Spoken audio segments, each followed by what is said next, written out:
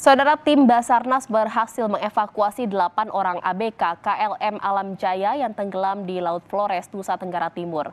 Mereka terombang-ambing selama 12 jam di laut sebelum berhasil diselamatkan.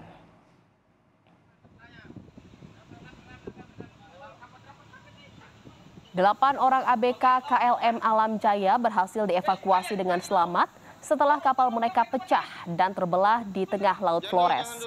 Proses evakuasi dibantu kapal asing milik Australia yang melintas saat kejadian.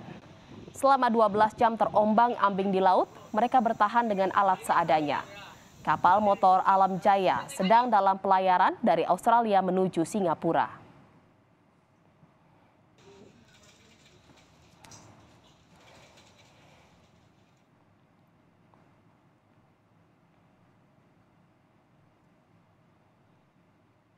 Ini kapalnya terpecah di perairan Flores.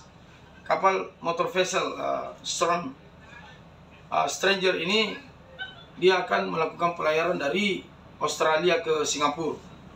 Namun di pertengahan jalan ditemukanlah uh, alam KL, KLM Alam Indah 03 pecah dan krunya memohon bantuan sehingga Storm Strange ini mengambil korban ini karena kapalnya terpecah dan langsung dievakuasi